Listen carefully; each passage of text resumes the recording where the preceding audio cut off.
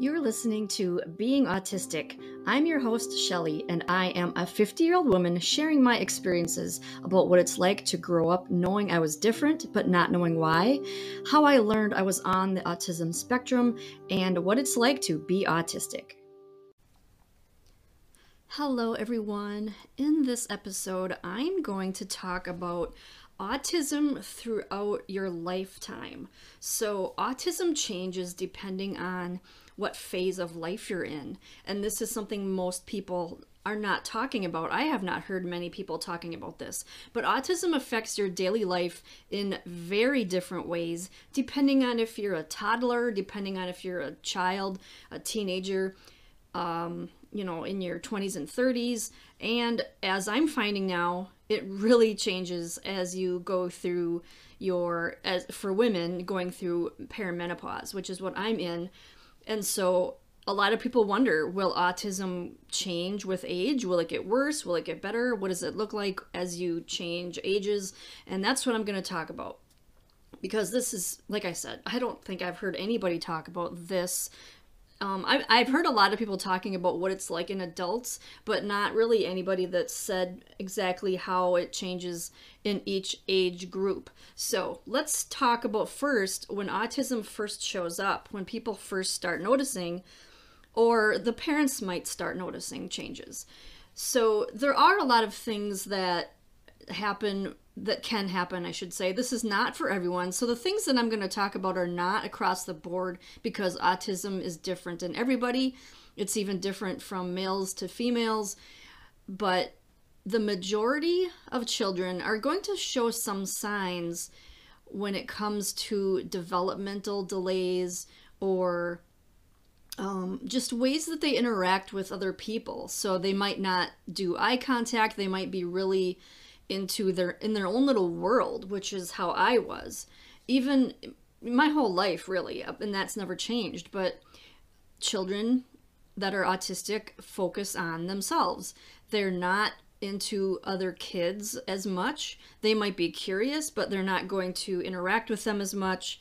So that's one of the first things that you will notice if a child kind of dives into their own little world and doesn't really show emotions, or maybe they do show emotions to the extreme because a lot of autistic people are diagnosed, they're misdiagnosed with bipolar disorder. And that's, you know, it's all emotional dysregulation.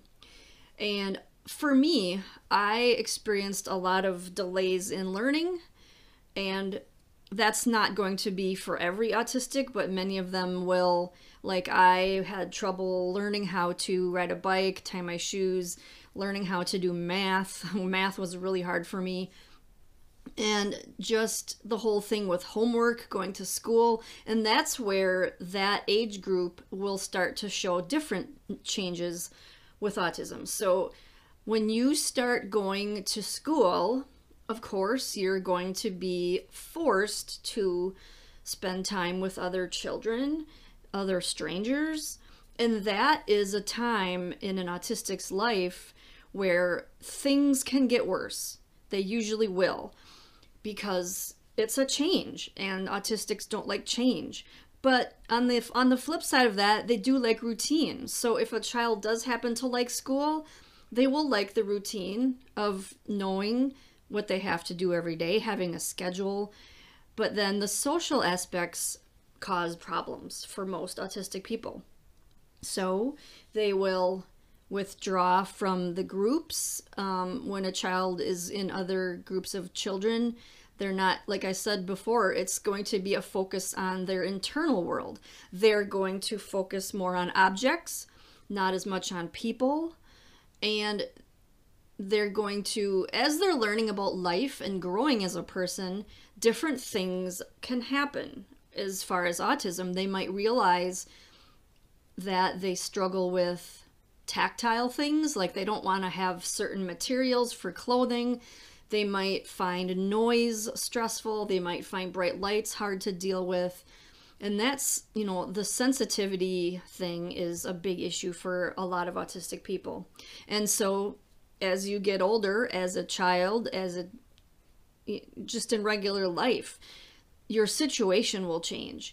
So your environments will change. And this goes for if you move. You know, my family moved when I was 10 and I didn't really like it, but I adapted because I actually did prefer the new house better because it was in the country. So I had a huge yard, very big yard with a a big um, cornfield behind it, so there was no neighbors behind. There was only one neighbor on one side, but it was far enough away. So yeah, if you have if if a child moves to a new location, it could be good or bad, and that could exacerbate the autism or it could make it better. So in my case, I think it made it better because like I said, I moved to a a more calming location. And so also throughout someone's life, it's going to make the autism traits either get worse or get better depending on the environment that you change to. Or, you know, this can go for jobs as well. And this is why I change jobs a lot because if one environment isn't working, if it's exacerbating my autistic traits, I will, you know, change jobs. And that's something to keep in mind as well. So, back to the phases of life. Um, when you're a child, like I said, yeah, you're going to start noticing different things in their life. And the whole thing with friends, that's a big topic that I actually did an episode on just how friends were when I was a child. I think I did an episode. I might have done an episode on friends in general, but I think I did one also on going through like the grade school ages um, where you know you're, you're you're learning about what friends are. And that's something i struggled so much with that. I i was bullied a lot. I didn't have many long lasting close friendships. I had some that lasted a couple years but that was all. And so that's something that you'll notice with autistic children is the friendships won't last very long most likely. And like i said they're going to spend a lot of time alone that's a, a central theme. And then when a child becomes a teenager, then lots of things happen. So there's going to be the whole issue of sexuality, which is, you know, autistic people are still able to be different types of sexual orientations. It's not like they're all not going to be sexual there's a variety. It's a spectrum. Like, you know, the the sexual spectrum is pretty wide and all autistic people are going to be somewhere on that on that spectrum as well. For me personally though, it wasn't an it wasn't really a thing in my life. I didn't really want anything to do with it. All I wanted to do was listen to music and ride my bike and you know just basic things, very simple, basic things. I didn't want to get involved in other people as much. Like I had some close friends temporarily, but I didn't really get involved in dating. And that's a separate subject as well that I I think I have an episode on dating and relationships and that did not even start for me until I was in my my mid 20s. So as a teenager, the autistic teenager is going to struggle probably with, you know, body changes. Most people do struggle with puberty. And autistic people, I feel, struggle worse with things. So they're going to probably have a harder time going through puberty because here's something that I've noticed about autism it's a common theme for many autistic people that they feel like they they feel very childlike and i still feel this way even at 50 it's just a way of living that's simple and it's it's all about joy you know f- finding joy and experiencing the things that you love and that's a childlike trait. When you become an adult it's all about jobs and bills and responsibilities and obligations and that is something that autistic people don't do well with. So when a teenage autistic person is struggling with those things, it can become apparent. They might be, you know, on the flip side, they might actually be more sexual. They might want to be sexual in order to feel close to someone because autistic people have a lot of relationship and friendship problems, being close with others. And so they might turn to sex to feel close with others, or in my case, they might avoid it altogether and they might just see it as an awkward, weird, foreign thing, which is how I felt about it. Um, autistic uh, teenagers will also show signs of, uh, like for me, I I kind of not rejected, but I I really pushed back against you know the the whole thing with when you're a teenager you are taught that you have to choose a career, you have to plan for your future, and that was something that I pushed back against because it didn't feel right to me. I didn't want a job, I didn't want a career. I just wanted to focus on things I enjoyed.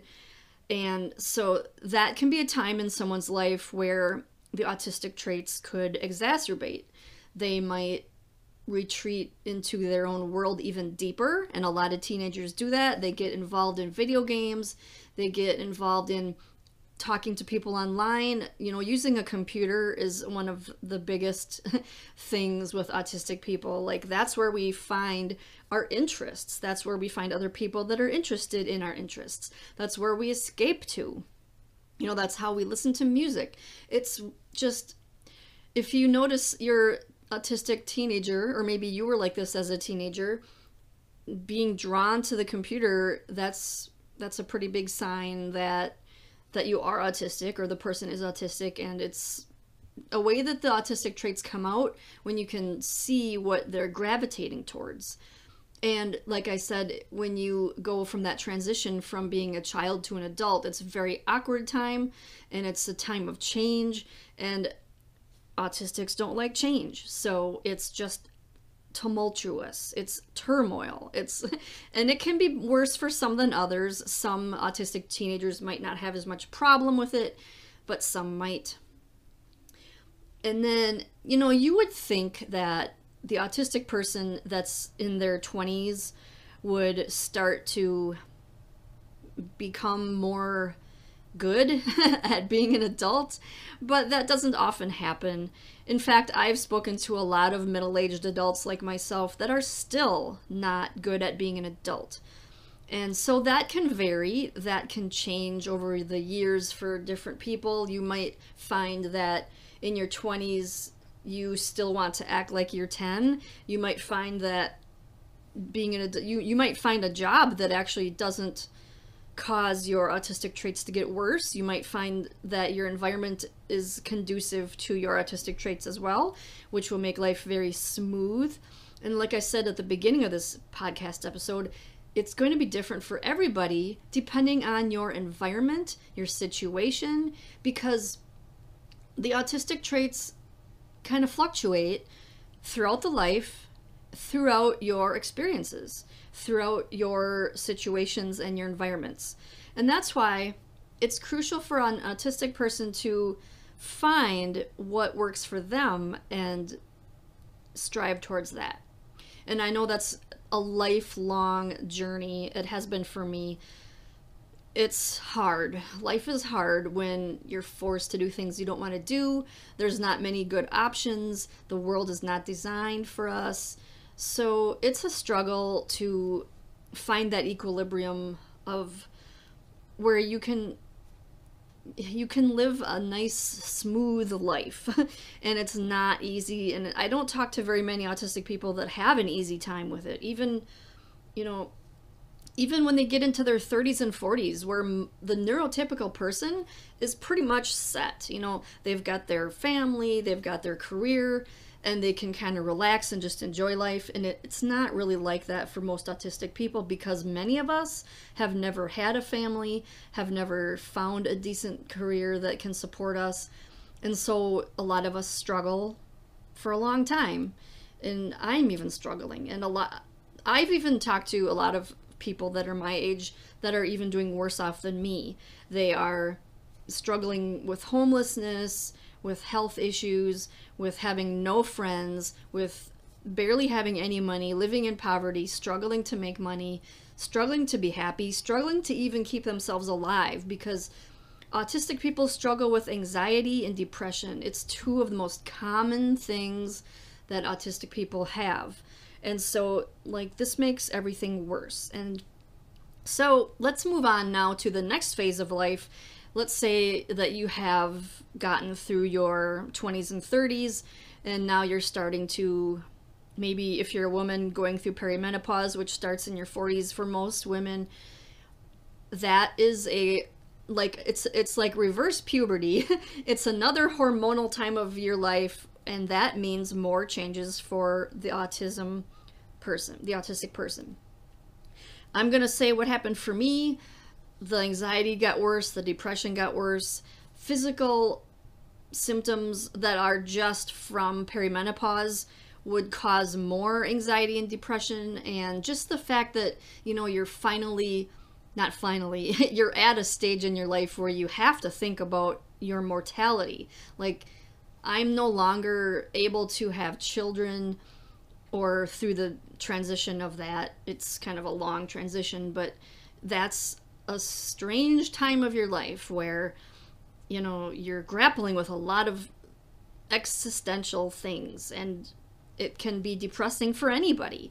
Anybody you know, the whole midlife crisis thing. It's a real thing. But for autistic people, it can be worse if you don't have a family, if you don't have a career, if you're struggling with your mental health.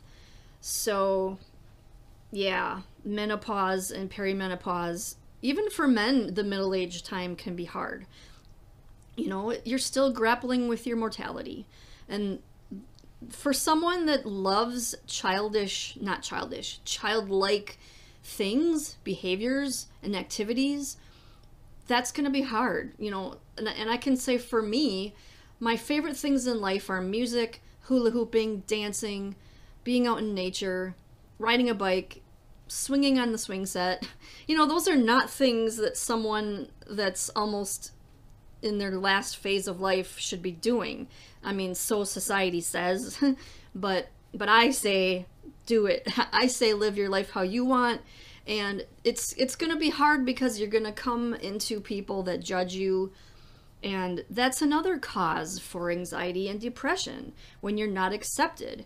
I mean, most neurotypical people don't accept autistic people anyway. And then as we get older, we are fitting in even less because we don't usually have grandchildren. We don't usually have, you know, a, a nice house with a lot of money and the things that most retired people have. So at every stage of life, we don't fit in. And again, I'm going to say this again. This is not 100% across the board. There are going to be some autistic people who have gotten lucky. They have a great career that gives them a lot of money and security. They've got a great family, and their autism does not influence their life to the extent that it does others. And also, it's going to depend on your level. So there's three levels of autism, and it didn't used to be like that. It used to be where you either had severe autism or you were high functioning in other words, Asperger's syndrome. So it's also going to depend on that. And that's that's a whole different subject in itself, but um, most likely the more support you need, the harder life changes are going to be for you, especially since autistic people don't do well with changes in the first place. Another thing that I wanted to mention was if you unmask during your life at any point, it's going to change how autism affects you as well. So, when I was young, I focused a lot on my inner world, and I also um, had problems with social things, you know, friend groups, relationships. And so I masked a lot in order to try to make those friends and relationships work. And I also did a lot of drinking in order to talk to people. And so that was one phase of my life where autism affected me heavily because I needed to mask heavily in order to get by. I also noticed as I you know, now that I'm older, I noticed that when I was younger, I had a lot more energy for um, for th- just anything. You know, I didn't need as much downtime. I also didn't have so many bad experiences with things because I was able to handle them a lot better. I had more mental capacity. And you know, you might have heard of the spoon theory. I never really had too many problems when I was younger when it came to the you know, having spoons. I always felt like I had I mean, I, I still needed to recharge. I still needed my alone time, but it was nowhere near as bad as it is now. And this also pertains to um, masking in that w- once you start to unmask, it's going to change things. It's going to make different parts of your autism worse or better. And for me, when I got older, I started to notice more sensitivity issues.